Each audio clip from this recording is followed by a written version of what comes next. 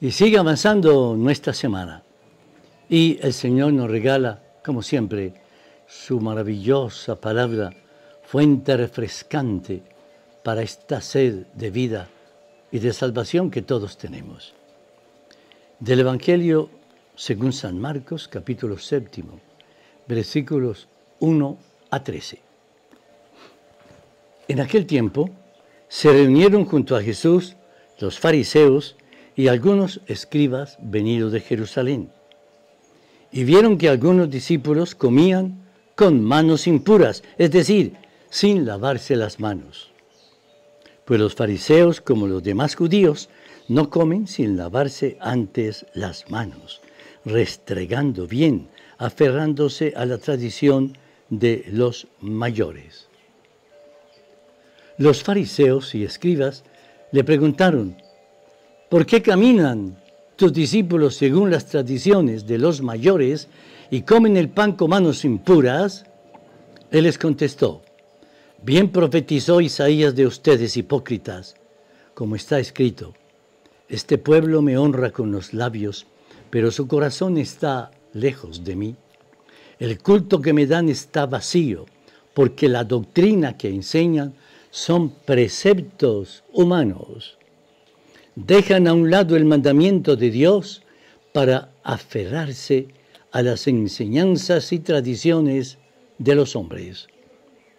Y añadió, anulan el mandamiento de Dios por mantener su tradición.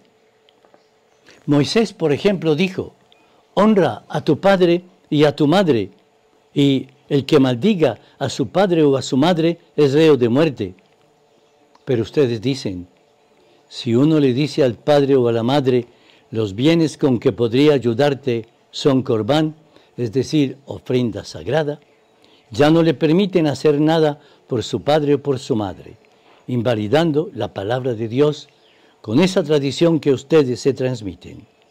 Y así hacen otras muchas cosas semejantes. Palabra del Señor, gloria a ti, Señor Jesús. Inmenso evangelio y inmenso remesón.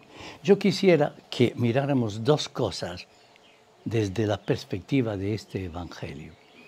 La primera es cuando dice Jesús, muchos dejan los mandamientos, dejan la palabra de Dios por ir a enseñanzas y tradiciones humanas. Sí, son muchos los que no tienen en cuenta la palabra, pero en cambio van para que alguien que dice tener yo no sé qué conocimientos en una bola de cristal o yo no sé qué, les diga un montón de cosas, haga un montón de pasajes y vaya como quien dice, diciendo cosas que a veces no son más que inventos humanos, que no son más que fábulas humanas.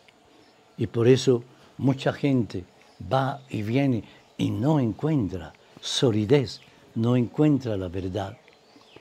¿Cuántos hay que entonces cambian al Señor por simples tradiciones? y opiniones humanas, que a veces lo que hacen es despistar, oscurecer o desviar el camino auténtico de la bella palabra de Dios. Y en segundo lugar, es la palabra la que lo dice. ¿Qué estamos haciendo con el cuarto mandamiento? Porque dice Jesús, honra a tu padre y a tu madre, pero muchos todo eso lo van disgregando, lo van como desbaratando por meros preceptos humanos. Hay quien ha olvidado a sus padres para siempre. Hay quien les ha dicho adiós. Ya envejecieron, adiós. Los dejamos en el camino y seguimos nuestras vías. Es estar yendo contra el cuarto mandamiento. Es despreciar a aquellos que, gracias al poder divino, fueron nuestro origen en esta tierra. Por eso, ¿cuántos hay que le dicen al padre o a la madre? Pero si ustedes ya son viejos, ¿por qué no se mueren? Ustedes ya no tienen razón de ser en este mundo. Ustedes ya no se adaptan a, todo lo que somos. ¿Por qué no se mueren? Créanme que no estoy inventando. son realidades que les decimos a estos viejos nuestros, amados y queridos, y que realmente han dado la vida por nosotros, pero que cuántos hijos los olvidan, los dejan, los desprecian.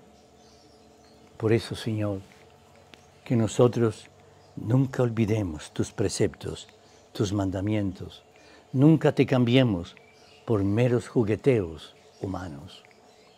Y sobre todo que también la familia viva unida y los padres y los viejos sigan siendo sabiduría encarnada, tradiciones reales que con toda su comunicación nos hacen fresco el Evangelio y más bella tu palabra, Señor. Nos bendiga el Señor hoy y siempre, en el nombre del Padre, del Hijo y del Espíritu Santo. Amén.